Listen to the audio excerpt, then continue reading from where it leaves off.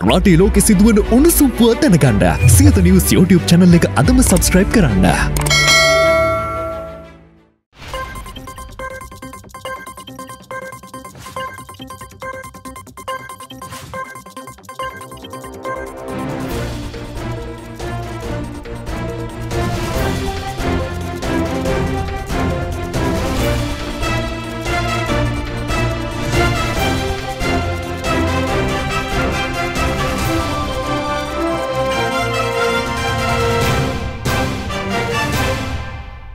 අයිබෝවන් සත්‍ය අපක්ෂපාති මධ්‍යස්ථ ප්‍රවෘත්ති වාර්තාකරණයේ ප්‍රමුඛයා සිත TV උදෑසන ප්‍රවෘත්ති විකාශයයි ආරම්භ වන්නේ. මම උදෑසන ප්‍රවෘත්ති සමග උදේශාන් ඉඩම ගෙදර. ප්‍රථමයෙන් සිරස්තල. රට පුරා වෙඩි තිදෙනෙකු මරුට අද ටෙලිවැකිය අපරාධ රැල්ල ගැන. IMF කොන්දේසි සීයෙන් අපි ඉටු කරලා තියෙන්නේ විසි නවයයි. ඕනම තුනකුත් කරලා නැහැ. වෙරිටේ රිසර්ච් කියයි. රට තුළ අනාරක්ෂිත භාවය දිනෙන් දින වර්ධනය වෙමින් තිබෙනවා. දිනෙන් දින සිදුවන මේ වෙඩි තැබීම් සහ ඝාතන රැල්ලක් බවට පත්වී අවසන්. දින දෙකක කාලයක් තුළ සිදු වූ වෙඩි තැබීම් හතරකින් පුද්ගලින් තිදෙනෙකු ජීවිතක්ෂයට පත්වී තිදෙනෙකු තුවාල ලබා තිබෙනවා. ටෙලිවැකියෙන් අවධානය රටේ මේ ඝාතන රැල්ල පිළිබඳවයි. ටෙලිවිෂන් ටෙලිවැකිය. අපේ රටේ අපරාධ රැල්ල දිනපතා රැලි පිට රැලි ගසමින් හරියට සුනාමිරල වගේ රට වනසමින් තිබෙනවා. අඩුම ගානේ මාසයකට හය හතක් වෙඩි තැබීම් වාර්තා වෙනවා. නේද. ගෙවුණු මාස හයට පමණත් තිස් හත් දෙනෙකු. තිස් හත් දෙනෙකු මහමග වෙඩි තබා ඝාතනය කර තිබෙනවා. ඊයේ සහ අදත්න් එවැනි වෙඩි තැබීම් තුනක් වාර්තා වුණා. ඒ නිසයි අද මේ තුන්සිය හතරවැනි ටෙලිවැකිය මේ විදිහට ලියන්ට අප තීරණය කළේ. මහමග වෙඩි තැබීම් මහපාරේ මිනිසුන් මරා දැමීම මංකොල්ලකෑම් ස්ත්‍රී දූෂණ ආදිය නිසා ජීවිත ආරක්ෂාව පිළිබඳව අද ඇත්තේ බරපතල අනාරක්ෂිත බවක්. රටේ අපරාධ වැඩිවෙන්න වැඩිවෙන්න අප මේ ඉන්න තැනින් තව තවත් පහලට ඇද වැටීම මයි සිද්ධ වෙන්නේ. විශේෂයෙන් මේ ආර්ථික ප්‍රපාතයෙන් ගොඩගන්න ඇති එක් ප්‍රධාන මාර්ගයක් තමයි සංචාරක ආකර්ශණය. එමත් නැත්නම් සංචාරක කර්මාන්තේ. දෙවනුව විදෙස් ආයෝජක දෙකින්. ඒ සඳහා මොන්න තරම් පහසුකම් දෙනවා කිව්වත් බදු සහන දෙනවා කිව්වත් ආයෝජකයකුට හෝ සංචාරකයකුට එන්න මේ රට ආරක්ෂිත වෙන්න ඕනේ. අපේ රටේ මිනිස් ජීවිතවලට එරෙහි අපරාධ වගේම දේපලවලට එරෙහි අපරාධත්න් නිරන්තරයෙන්ම වාර්තා වෙනවා. අද මේ රටේ සිදුවන අපරාධ ලෝකයෙන් වසන් කරන්නට බැහැ. මාධ්‍යයට සීමා තහංචි දාලා අපරාධ සිදුවෙන එක අඩු කරන්නත් බැහැ. අද සමහර අපරාධකරුවන්ට පැනලයන්න බැරිවෙලා තියෙන්නේ බොහෝ වෙලාවට මාධ්‍ය වාර්තා කරනය නිසයි. අද සිදුකරන අපරාධවල ගහතනවල කරූරත්වයත් ඉහළයමින් තිබෙනවා. කරූරත්වය හොඳේ කරූරත්වයක් ඉහලයමින් තිබෙනවා. සමහර විට විධ පුද්ගලීන්ව මරාදැමීමට භාවිත කර ඇති කරූරතර ක්‍රම වාර්තා කරනවතියා හිතන විටත් බිය උපද්ධ වනවා. මේ අපරාධ ඉහළයාම පිටුපස මද්‍රව්‍ය ක්‍රියාකාරකම්ද ඉහළ අගයක් ගන්නවා. මද්‍රව්‍ය මත් පැන්සේම රටේ පාලනයේ පවතින අඩුපාඩු ආර්ථික ප්‍රශ්න ආධ්‍යත්න් අපරාධ ඉහළයාමට හේතු වී තිබෙනවා. මෙනිසා අද සමාජයේ පුරාම අපරාධ අපරාධ භීතියක් නිර්මාණය වී ඇති බව කිව යුතුයි. විශේෂයෙන් අපරාධ කරන්නන්ට අපරාධයක් කිරීමේදි දැනෙන බිය ඉතාම අඩුවමින් තිබෙනවා. ඒ ඇනෙ බයනැතුව අපරාධ කරනවා. ඒකට හේතුව නීතිය පණ මදී යන්න නම් පිළිගන්ට අමාරුයි. අදට මේ අපරාධ නීතිය ඇටතේ දඩුවම් දෙන්ට හොඳටම පුළුවන්. මේ අපරාධ නීතිය හොඳටම ප්‍රමාණවත්. නමුත් ප්‍රශ්නය ඇත්තේ අපරාධ වලක්වන්න ත්‍රිත්වයක් වගේ එහෙමත් නැත්නම් ත්‍රිශූලයක් වගේ ක්‍රියා කළයුතු ආයතන ශක්තිමත් කිරීමට බලධරීන්ට උවමනාවක් නැතිකමයි. අපරාධකරුවන් කඩිනමින් කිසිදු බලපෑමකින් තොරව අත්තඩංගොට ගතයුත්තේ පොලිසිය. එහෙත් සමහර අවස්ථාව වල පොලිසිය අපරාධකරුවන් රකින්ට දරන දේශපාලන උත්සාහයන් එමටයි. එසේම අධිකරණයට ඉතාම කෙටි කලකින් නඩු අහලා ඒ නඩුව අවසන් කිරීමට ප්‍රමාණවත් පහසුකම් අදටත් නෑ. ගරු අධිකරණයේ විනිශ්්‍යකාරවරුන් තම ජීවිත පරදුවට තබල අසන නඩුවලට පවා සාක්ෂි නිවැරදිව විද්‍යාත්මකෝ සපයන්නට ඕන ආයතන ඒ කාර්ය ඉටු කරන්නේ නැහැ නිවැරදිව පමා කරනවා. විශේෂෙන් මත්කුඩු නඩුවලදී කුඩු අන්තිමට සීනිවුණු අවස්ථාත් තිබෙනවා. ගරු අධිකරණයට අවශ්‍ය මූලික පහසුකම්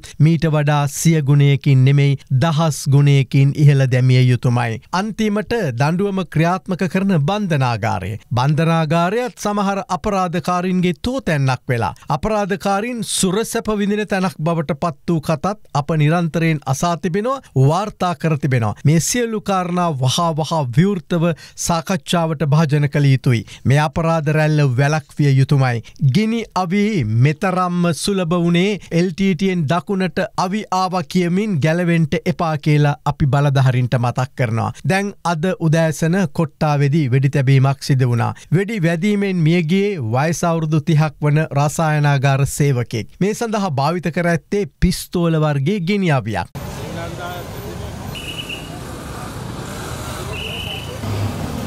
අද අලුයම කොස්ගොඩදීත් පුද්ගලයකුට වෙඩි තබා ඝාතනය කර තිබෙනවා. වයි සවුරුදු පනස් දෙකක් වූ මියගේ පුද්ගලයාට වෙඩි තබා ඇත්තේත් පිස්තෝල වර්ගේ ගිනිියාවියකින්.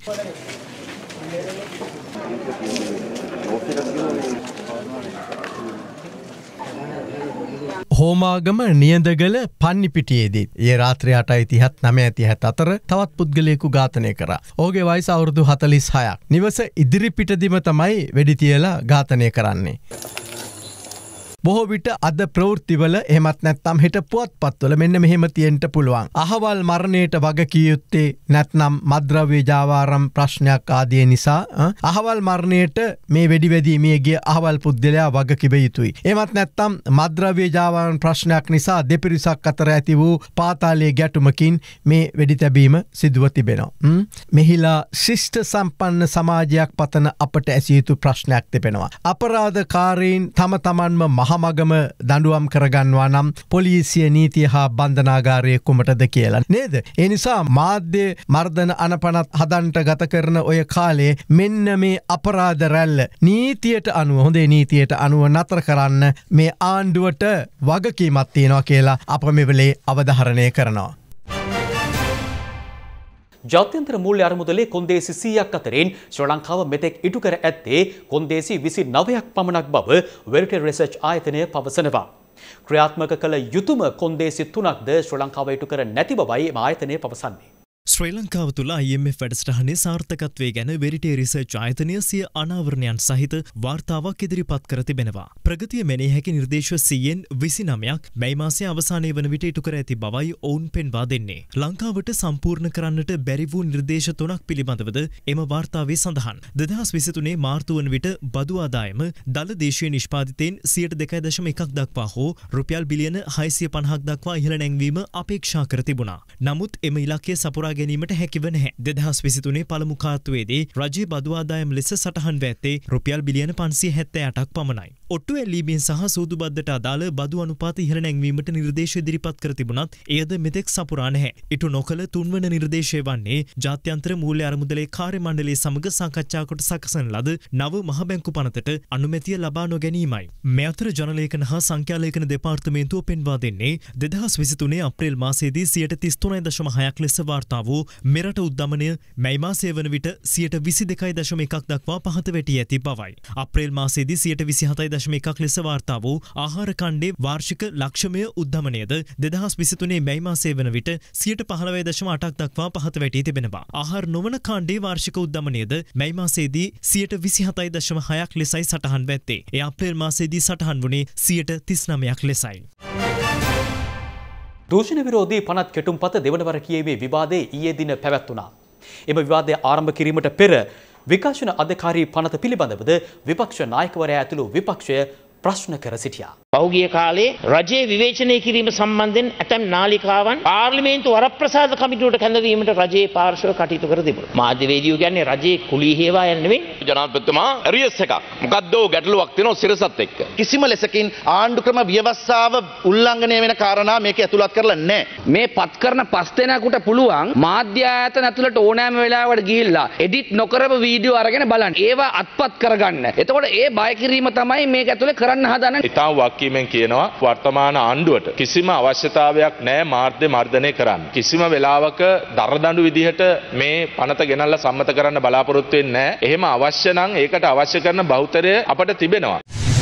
අපි අලුතෙන් ඇතුල් කරලා තියෙනවා මේ වත්කම් සහ බැරකම් ප්‍රකාශ ඉදිරිපත් කිරීම ජනාධිපතිවරයාගේ පටන් අරගෙන විධායක නිලධාරීන් යන කාණ්ඩත් මිට ඇතුළත් කරලා තිබෙනවා. අපේ මතයක් තියෙනවා මේ තියෙන වගන්ති අනුව මේ පනත බලපාන්නේ ඉදිරියට කියලා. වෙනම වගන්තියක් තියෙන්න ඕන. to pass crimes committed by various people. මේ පිළිබඳව අපිට පැහැදිලි නීති උපදේශයක් ලබා ගන්න වෙනවා ගරු නීතිපතිතුමාගෙන්. මහා පරිමාණයේ වංශාවක් දූෂණයක් කෙරුණු අවස්ථාවලදී ඒ ලබාගත් මුදල තියෙන්නේ මේ රටේ නෙවෙයි. ඒ හොරුන් ඒක ආයෝජනය කරන්නේ විදේශීය රටවල්. අවාසනාවට මෙන් මේ පනතේ නෑ. ඒ මුදල් හා දේපල අපේ රටට ලබා ගැනීමට. අසත්‍ය ප්‍රකාශය කරන පුද්ගලයාට අවුරුදු 10යි. අල්ලස්ගත් මනුස්සයාට අවුරුදු 7යි. උද්දච්ච තීරණ ගත්තු තකදීරුවන්ට දඬුවම් ලබා දීම සඳහා මේකේ පුළුවන්කමක් තියනවද කියලා සැකයක් තියෙනවා. මුන් කියවනවා විතරනේ. මුන් කියවුවට එක එකක් ගෙනාවද? මහ ලොකුවට කිව්වා 2015 ගෙනවයි කියලා.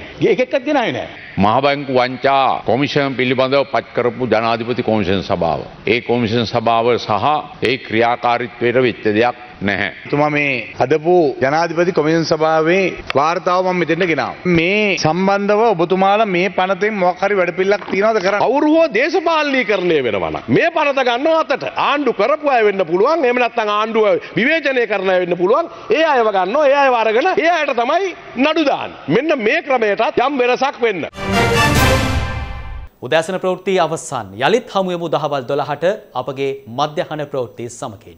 ඔබ සැමට සුවදායි වාසනාවන්ත දිනයක්.